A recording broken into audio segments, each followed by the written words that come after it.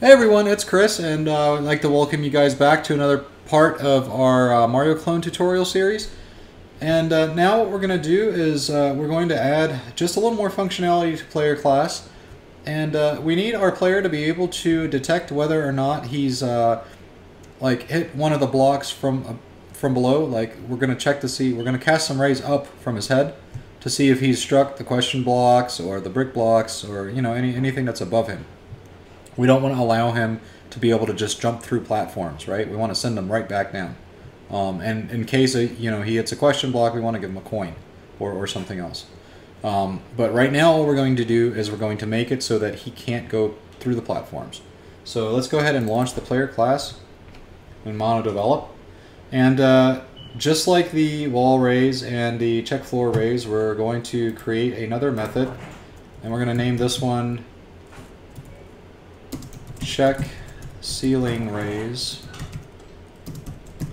And we're also going to pass in a vector 3 position and return a vector 3, uh, the same position. Um, so just like with the uh, floor rays, we're going to need to create origins and uh, raycast hit objects for um, for the check uh, ceiling rays method. So we'll start by creating vector 2. And uh, you know what? Uh, to make this a little faster, let's uh, copy and paste these. I'm going to put them here.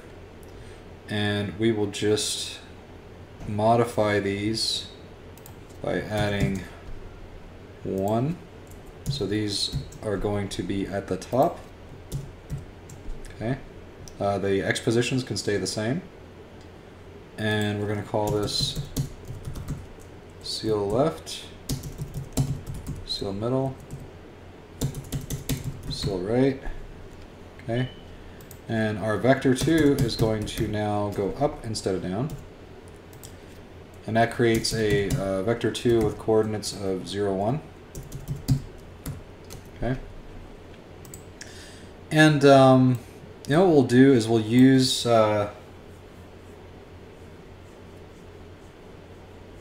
we'll use the floor mask um, as the mask uh, for the same uh, for the ceiling because the platform is going to be a floor and it's going to be in the floor layer so in the default layer and the default layer we just don't really need to make another mask for because the, the floor is one and the same. The floor is the ceiling, the floor is the ceiling is the floor. So just keep it this way. And um, then uh, we'll have to check if our uh, if any of these have a collider object. So check ceiling left, collider doesn't equal null, or ceiling middle Dot collider doesn't equal doesn't equal null.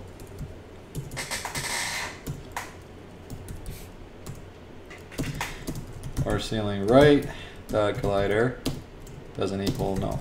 Okay. Just as before, um, if any of these don't equal null, then we're getting a collision. Okay, and uh, we're going to go ahead and do the same thing and we're going to create a reference to our raycast hit object.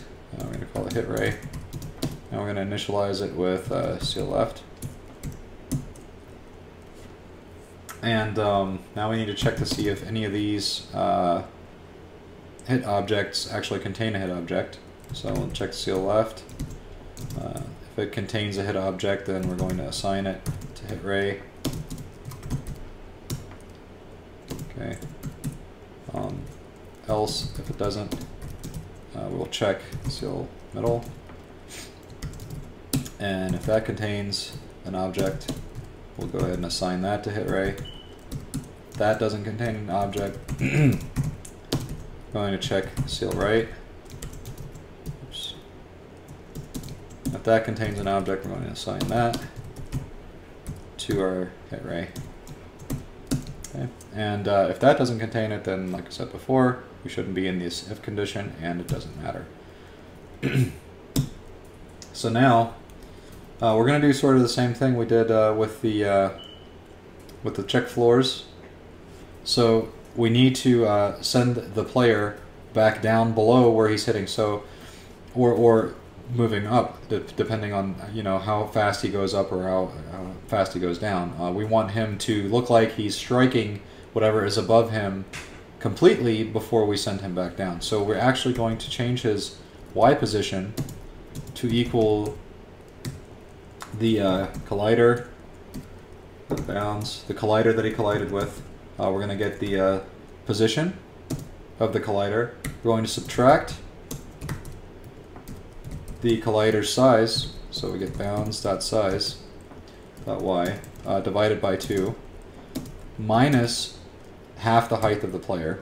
So that'll make it appear as though the player struck whatever is above him directly on his head and directly on the bottom of whatever he struck. Um, and then uh, we want to, because the player collided, we want to make him fall right back down. So we call the fall method here. And finally, what we'll do is return our position vector. And then uh, we actually need to check.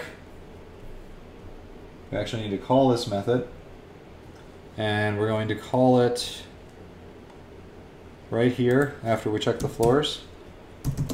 Um, we're going to check if velocity.y is greater than or equal to zero because he'll have to be in the air when we're checking to see if he's striking anything from above. So then we check, uh, we assign our position, the uh, check ceiling rays passing in the position. And then if this position changes, whether it changes or not, this position is going to be assigned to the local position of the transform, which is the player. So um, that'll change and, and let's see here, yep. So we are good to go. We should be able to uh, now collide with our platforms from below. So if we the Unity, click play, and we run to the, here. So now we're restricted. We can't go past the platform anymore. Okay. So everything is working really well. Okay. We're good to go. All right. Um, the uh, okay, so I'll add uh, I'll add one more little bit of uh, code here before we end the tutorial, and that is to uh, actually animate the player. Um, I'm not going to teach you uh, the Mecanim uh, animation system part of Unity right now. I'm also not going to get into creating the animation frames or putting those together.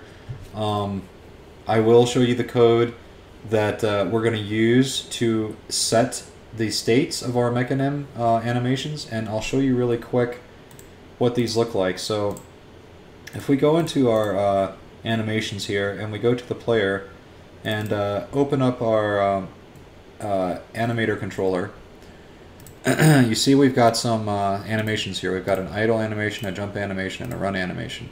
Okay, And what we also have here are parameters. Uh, we have is running, is jumping.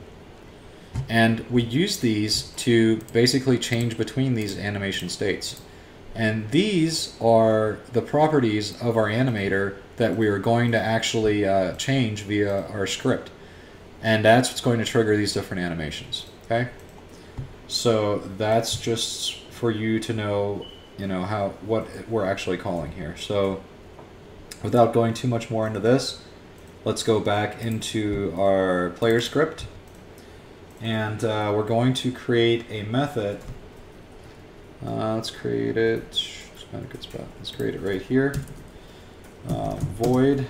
We're gonna name this uh, update animation states. Okay. So very simply here, we're gonna check if grounded. Okay. And not walk and uh,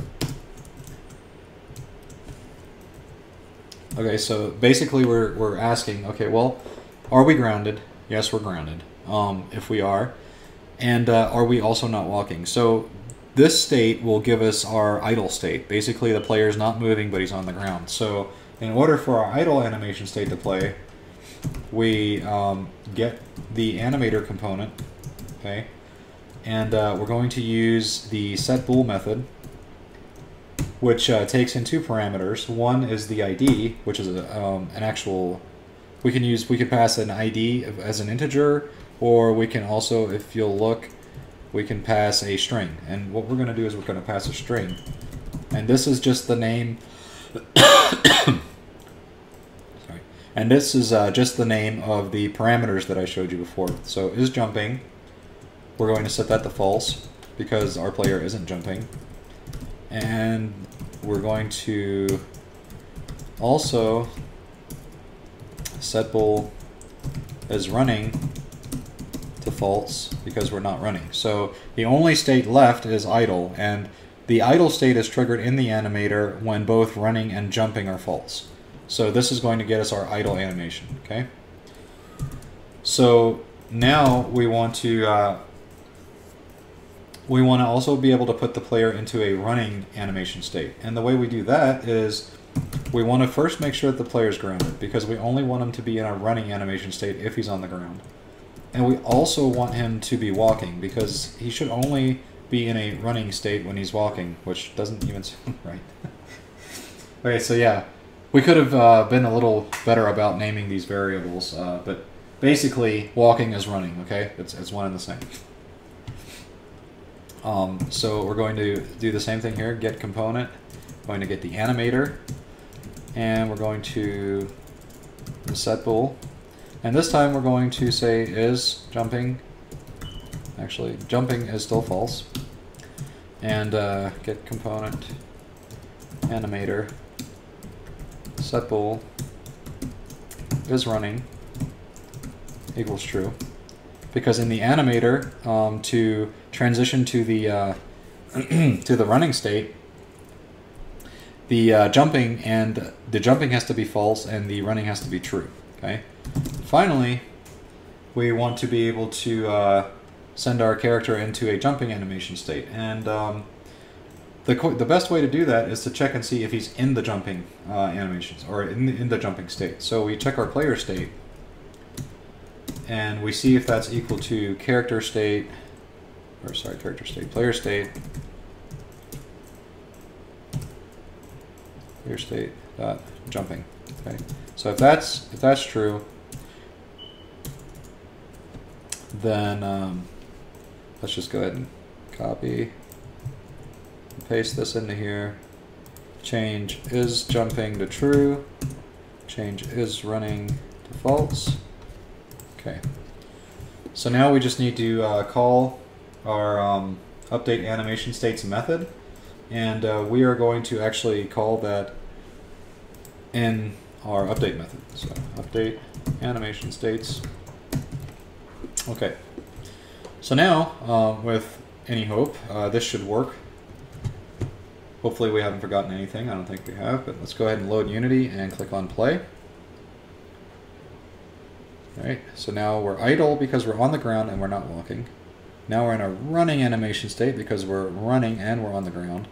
Now, if we jump, we should go to a jumping animation state. There we go.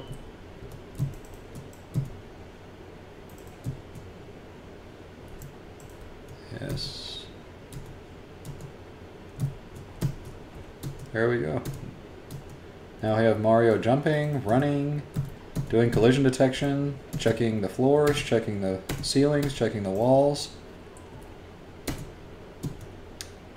Starting to look like a game. So, uh, what's next? Um, okay, so the next thing we're going to work on is uh, creating the enemy AI script, and um, that's going to be uh, maybe split up into two tutorials. I'm not sure yet. Well, depends on how long it's going to take. The script itself isn't very long, and most of what is going to be in the script are things that we've just covered in the player script, such as the uh, ray casting and, and you know other things. Uh, animations aren't really going to be a part of this uh, because the uh, the enemy is basically going to always be in a walking state. So uh, he's never going to stop walking until he's actually dead, um, and then he's just going to disappear. So there's not really any other animation states. Um, okay, so uh, we'll stop it here, and uh, you guys stay tuned for the next tutorial, and I'll see you soon.